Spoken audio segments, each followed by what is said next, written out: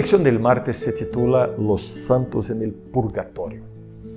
La idea del infierno y del paraíso como un lugar para las almas de los que mueren dentro de la descripción de la Edad Media empezó a generar dudas y, y disputas. ¿no? ¿Cómo saber que una persona ha sido lo suficientemente bueno para ir directo al cielo o lo suficiente mal, malo para ir al infierno? Y entonces la dificultad de establecer las cuestiones todas eh, con este tema de cielo e infierno, eh, según la pretensa teología de la existencia de estos lugares. Entonces San Agustín del cuarto siglo eh, empezó a desarrollar unas explicaciones, una teoría en cuanto a esta, a esta cuestión de condenación eterna en el infierno o salvación en el cielo. Entonces él abordó estas cuestiones en un intento de imaginar o diseñar un camino, un lugar intermedio entre la condenación en el infierno y la salvación en el cielo. En su opinión, las personas más inclinadas a pecar deberían ser condenadas directamente al infierno. Sin embargo, las oraciones de los vivos en favor de los que mueren podría ser algo para disminuir su sufrimiento.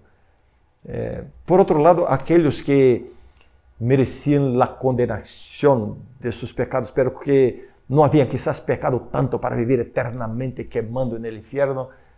Então, ele vino com a ideia de este lugar intermédio, um lugar onde os que estavam sofrendo a condenação por seus pecados pudieran ser purgados ou purificados e finalmente levados ao cielo. Em las palavras de San Agustín, eh, se percebeu aí a necessidade de um terceiro destino, además del paraíso e el infierno, e aí um lugar intermediário para essas situações. Não? E precisamente em 1170, o teólogo francês Pierre Lemonger utilizou a palavra latina purgatorium para descrever este local entre o cielo e o infierno. Eh, lo que pasa es que esta doctrina, que no es bíblica, contradice frontalmente algunas enseñanzas bíblicas. Y aquí menciono algunas de ellas. ¿no? Eh, número uno, la Biblia enseña que los muertos están en un estado de inconsciencia. Eh, y la idea del purgatorio contradice esta enseñanza clara de la palabra de Dios. Número dos, los vivos, de acuerdo con la Biblia, no pueden hacer nada por la salvación de los que ya han muerto. Entonces está ahí en el purgatorio y los vivos pueden hacer cosas, orar o cosas que puedan eh, apresurar su salida al cielo. Eso contraría la Biblia. Número tres, nuestro único mediador es Jesús. Esto está claro en la Biblia. No cabe la idea de haber seres humanos intercediendo por la salvación de personas que ya han muerto. No hay otra oportunidad fuera del tiempo de, de vida.